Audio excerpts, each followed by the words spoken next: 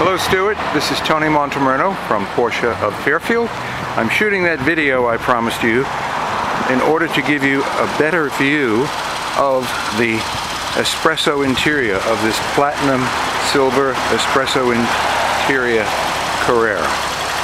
Um, it's a very dark color as I had mentioned to you and here in bright sunlight even you can see uh, that it is not that kind of brownishness you mentioned. Uh, in fact, the moment you have some shade, for example on the door here, you can see it practically looks black. Uh, I'm going to close the top to give you an idea of what that looks like, even in bright sunlight, but then I'll take a few interior shots as well. This car, by the way, is extremely well equipped. Um, it has the Sport Chrono, which is very, very helpful to it. Keyless entry. Uh, and uh, stick shift, of course, which is what you want. So let me go in the vehicle.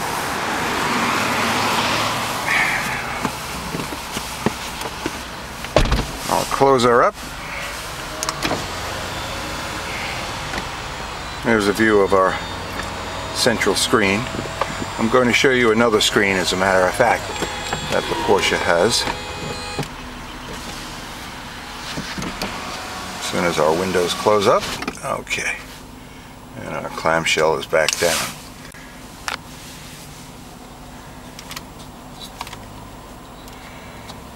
As you can see there is a screen to the right of the tachometer and that has quite a few pieces of information. Nice G-force screen there. Uh, also gear shift assist, very helpful when you're downshifting.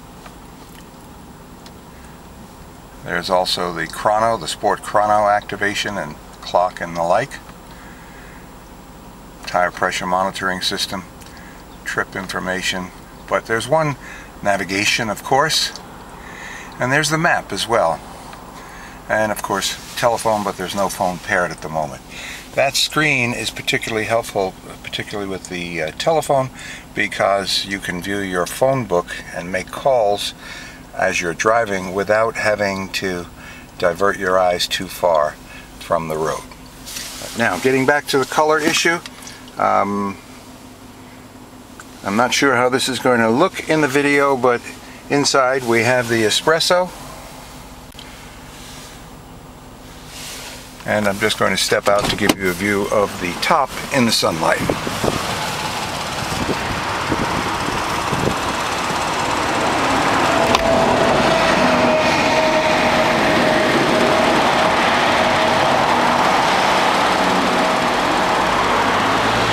That's about as brown as it's ever going to look in anything with clouds or as it gets dark at night. Uh, this car is going to be looking almost black. However, that taste is up to you and uh, let's continue our discussion. Thanks very much.